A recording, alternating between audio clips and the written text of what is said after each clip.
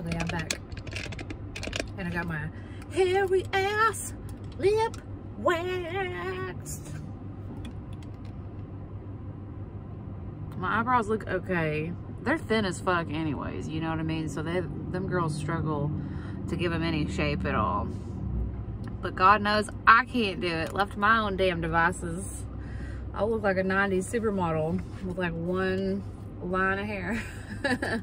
anyways, so when I went in there and, you know, they, they were done doing all the pedicures and stuff. So they were able to get me waxed. And I went back there and I was like, hey, what's up with the Starbucks not being open for like two days in a row? And she was like, no, it's been longer than that. And I was like, what?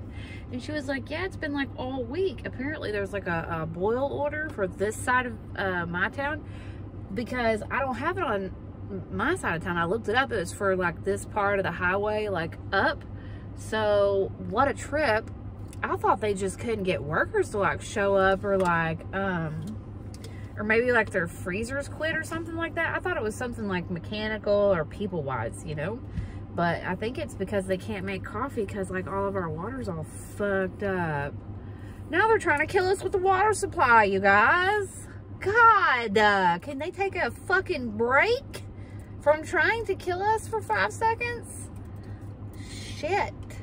It's just fake outrage, you guys. I'm not even really upset. You know? You know what I'm saying? You know what I'm saying? My lip is burning right now. It's on fire. It's about 15 bucks to get your eyebrows waxed and your lip waxed. If you're not, if you don't do that sort of thing. If you don't get your eyebrows waxed and your lip waxed and you're 30 years old or older, then you should look into doing that shit because you most definitely have a mustache. And everyone is being far too kind and not told you about your mustache but you got one. You got one sister. So you better take care of it. You can nair it you can shave it you can do it however you want to but you got a mustache. I can't use nair because nair is like i have super duper sensitive skin and nair irritates the shit out of me like i can't even use it on my legs and i think it smells really disgusting. Why does my car sound like that? So, uh, I just did a plant shopping video. So if you guys don't um, watch my houseplant videos, go over and check me out at Heart Shaped Leaves. I'm pretty sure that everybody watching these videos is spillover from there, but just in case, check it out. Links in the description down below. And um, I think my video for today is just going to be like this you know, just kind of like maybe you guys can go a couple places with me. I think I'm going to go back to the house, slap on like a teeny little, teeny bit of makeup because it helps my confidence level. I kind of feel like the undead. I know I'm breaking out. I got some breakout areas around my lips and shit because what's on my period? Mm, lovely. Those are gifts. Those are little party gifts when you, you know, are about to have your period. But anyways, I want to go home, do that, uh, fill my water up, heat my coffee up. I may finish, uh, my, I was good, you know what? Um, I was gonna go live this morning on Rachel So-Called Life for like Friday morning coffee. And I thought, you know what? Number one, no one's gonna show up because I don't have, I don't have as many subscribers on this channel. And number two, if I was to go live, it would make more sense to go live on heart-shaped leaves, right? Than to go live over here because just probably because more people would see it, more people would be able to participate.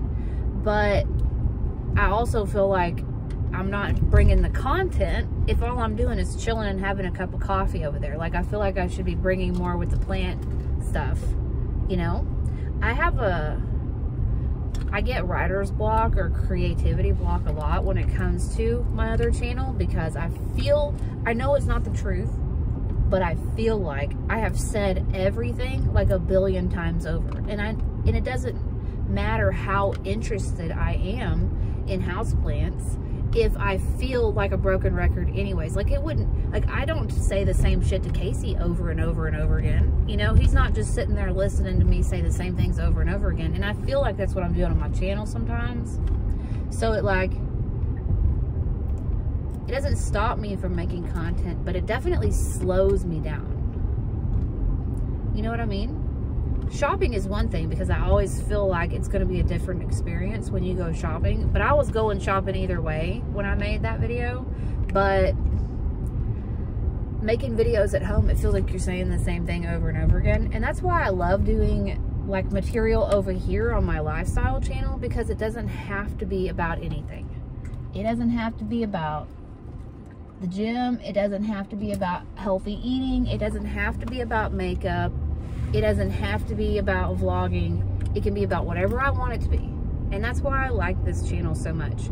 It's like a creative outlet where um, my houseplant channel, it's like if I made a video where I was vlogging over there, no one would really watch it because as much as people say, we love you and we'll watch you do anything, it's it's really not true. Most people are there because they want to see your plants. They want to see your plant collections. They want to see, you know, and all that stuff. So it makes perfect sense. I'm not mad at anybody about it. I'm happy that I have this channel. I'm happy that you guys are here chilling with me because all the people who like really like me from Heart Shaped Leaves have come over here to watch me do just like whatever. Like when people do comment and say that, you guys are those people. The people watching these videos are those people. So, I don't know. It's just way better for me. And Casey was like, what was the last video I put out? I can't even remember. But Casey asked me, he was like, what does it feel like only getting like 300 views on a video? And I go, I don't even care. Like it doesn't even bother me because I guess I so, I so vividly remember getting those kind of views on my other channel and just not giving a shit. Because I never thought Heart, my other channel, Heart Shaped Leaves, was going to get as big as it got. I never thought that. Like, and it's been several years. It's not like it happened overnight. And a lot of it I owe to my homegirl, Harli G, who shouted me out. Her houseplant channel, um, Harli G. All you got to do is look her up. Uh, she gave me a shout out. And I think I grew like, I exploded in growth after that. I mean, eternally grateful for her doing that for me. I mean, out of the kindness of her own heart indeed, she's she's a real one, a real house plant, real one. I love her to death. And we don't even talk a whole whole bunch, you know what I mean? It's just like we just kind of talk here and there, but look, when you're a grown-ass woman and you got kids and stuff, people really don't, I don't really have, I don't have time and she don't have time. We don't have time. But I like to reach out and touch her, you know, and just be like, you know, and just make sure she's out there and still kicking. Do you see how close this person is on my tailgate right now? I don't need a ticket. We're in a regression. Um, but besides all that, that, that, that does create a lot of pressure, like having more subs over there and stuff. So you just want to do well. Videos, you know, I don't know. I'm not even making sense at this point. I'm just. I'm just talking. I've also lost a pair of Casey's pants you guys don't give any craps about this stuff. I'm just gonna, I literally don't talk to anybody throughout the day. I don't. You guys are the only ones that I talk to. Legitimately, you're the only ones that I talk to. So I've got to tell you about it. I've lost Casey's, I don't know if I've lost them. I think he's lost them. If you want me to be real about it. He bought these black pants. He's been losing a lot of weight. You guys know he's looking fine as hell. And his butt's all cute and stuff. And he's looking really thin. Anyway, so he's got these like tight tighter pants or whatever. He's been buying a lot of these tighter pants for work, you know. He's looking all slim and trim. So he's got black, gray, khaki, tweed, and all this stuff. I can't find the black pants. Not the dirty clothes. They're not in the washing machine. They're not on the floor. They're not on the back of his chair. I mean, I have looked everywhere these freaking black pants, and I'm like, where are your black pants? Are you taking your shit off somewhere? Are you putting on a Chippendales show and I'm not aware of it somewhere? Where are these black pants? So, I've lost a pair of pants. What else is going on today?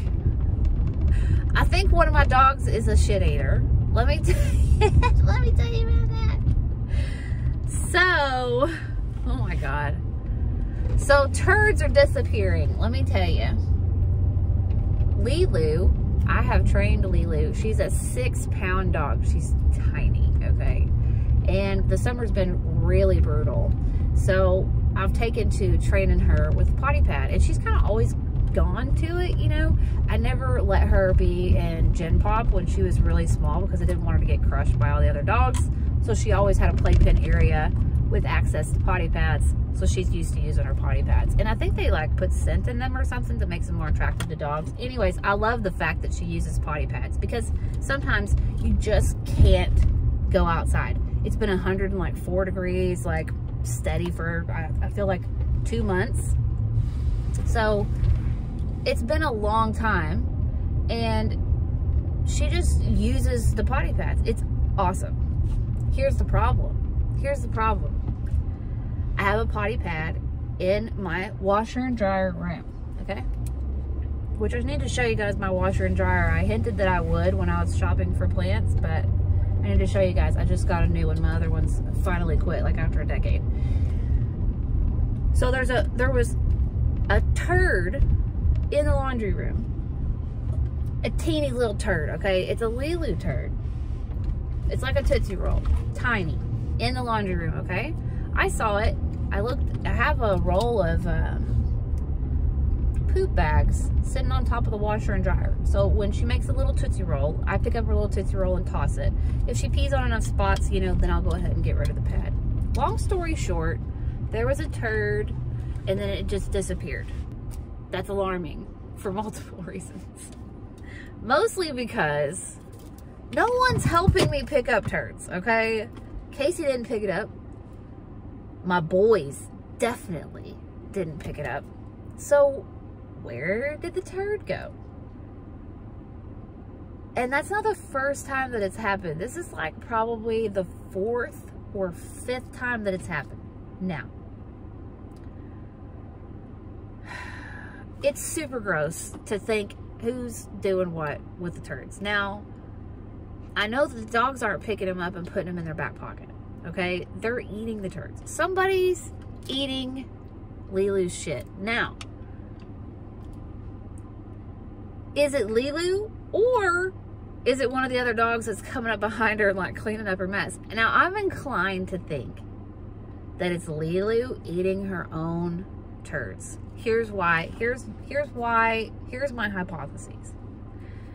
I've never seen any of the other dogs. Okay, okay. Winston eats cat shit.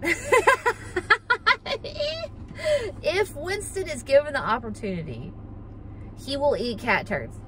So I guess that does make him a shit eater, okay? But I've never seen him eat a dog turd. I've seen him sniff many a dog turds, but never eat one. So this whole time, he's never eaten one of his own turds or anything. So I don't know what's going on. But, uh, you know, short of setting up like a, um, a hidden camera where the pee pads are, like, I don't know how to... Either way, if I see a little Tootsie Roll, I have to pick it up, like, right away. Like, right away. Like, as soon as I see it, like, make sure, almost like a dust pile, you know, like, don't step in that, don't step in that, don't step in that, I want to go get it. Because I cannot stand the thought of Lilu eating her own stuff. Like how like how often is she doing that? Like if she if she's the culprit and she's human centipeding herself, like what am I supposed to do with that? If you guys have any experience with your dog also being a disgusting little shit eater, let me know down in the comments below and give me some solutions. Like, I don't know, like, how do you make shit taste worse than shit? It, yeah, and like, how am I ever supposed to kiss my dog again? Because I all I can think about is like her doing that. Ew, gross, disgusting. Anyways, now that we're all scarred for life, I hope that you still I hope you're still watching this video. And if for some crazy reason you are still watching it, I love you. And I think I'm actually going to end it here. I've done way too much rambling. All I want to do for the rest of the day is I'm going to go to the gym. I'm to go in and put some lip gloss on, run to the gym, do about 30 minutes, and then go in and edit some footage. So I'll see you guys next time. Peace out. Later, taters. Bye. Okay, so really quick before I close out this, like, what I'm sorry, this is like random footage from like me driving home before I injured my thumb. If you don't follow me on Instagram, go follow me on Instagram at Heart Shape Leaves. I didn't even post it when it happened, but I bonked my thumb really bad. It made pretty much like going to the bathroom hard and editing. Almost impossible using a mouse. So I'm finally able to like use my thumb again. And this is just like random footage, so bear with me. It's from when I went and tried stuff on at a, a local shop called Trinkets here at my local mall. And funny story about this shirt. Hold on. So I went to the sales associate lady and I said, hey, could you tie this crochet top for me? Because I don't want to get it in a knot. I have these long nails and I can't really tie real well and I don't want to get it in a knot. Can you tie it in a bow for me? She tied it in a knot. This is literally a picture of the knot. I had to go stand outside the dress and I said, ma'am, I'm trying not to panic, but I feel like maybe there's a knot back there where you tied it. And she goes, oh my gosh, I did tie it in a knot. And I was like, what? Why? Why would you do that? And I had to eventually, I was sweating. Oh my God. All I wanted to do was try on some cute clothes. You know what I mean? I was sweating. I had to pull it off like a dog getting out of like a, a doggy door. It was terrible. I mean, anyways, 10 out of 10, like super cute top. Okay. I didn't buy it. I was traumatized by it, but yeah, and these pants, I got the next size up. So these were hugging my cooter a little too much. So I got I like the next size up. I I think it was like a 27, but I went ahead and like committed because I thought those jeans were so freaking cute. So I went out and got like a bigger size. The crochet top was okay. Like I said, I got trapped in it. So zero out of 10. I didn't even try on that dress right there. There were so many people waiting for a dressing room that day. I felt wicked bad. So I just left. I'm terrible. I bought that top in that cream color and I also got it in like a burnt orange color. That was still, I think those were like the new uh, bigger jeans that I liked more. I hated this hairstyle that day. I thought it was cute when I left the house, but by the time I got here, I was like, fuck no, I hate this. Anyways, this top was super duper cute, but if you, any false moves and the tits would totally come out. This is when I had the too small jeans on. You can tell the difference. But the top was super cute. I loved everything about it, but I just, the risk, there was just too much risk involved. And I don't want to tape up my boobs with every top I wear. The cream top that I got behind uh, us, it actually doubles as a bra. So that's why I got it in two different colors. I loved it. This dress, okay, hang on. This dress was so gorgeous on the rack and the idea of it was so beautiful and the color so beautiful, but it couldn't have been any more unflattering on my tummy area. Look at that. It made me look like three months pregnant. I couldn't believe it. It was called, the dress was called something iconic too. It was like the Ilana dress or something. Ilana. I can't even remember, but I wanted it to make me look good so bad. And it was really unflattering on the titties also. But yeah, it was really cute. I didn't buy it, obviously. If it would have been like 15 bucks, I might have like gambled on it, but it was like 90 bucks. So I was like, no, girl. No, girl. No. But anyways, thank you guys so much for watching today's video. I'm sorry about like the randomness of these clips, but like I said, I hurt my thumb and I want to use every single freaking clip that I ever take because I struggle to get the content out. So, and I was on a really good roll before I bonked my thumb really hard. You can see these are my olds, my older set of like really super long. Uh, these are the 10XLs pastel set that I had right before this black set of nails. So anyways, um, I hope you enjoyed today's random smattering of footage, like the drive home and then like trying on some clothes. Let me, let me know if you guys really liked this clothing like try on because I could totally do more of this. We could go to like Rue 21 or like all the traditional places in my local mall and we could like try on some clothes and stuff like that. But I don't know what you guys like to see more. Um, the next video that I have uh, footage for is a full leg. Oh shit, I hit my mic. It's a full leg day video with uh, Cletus and I. So that will be up next. And then um, I can't remember what I have filmed, but I have something else filmed for you guys. So anyways, stay tuned. I love you guys. Peace out. Have a great day. Be fabulous. Bye.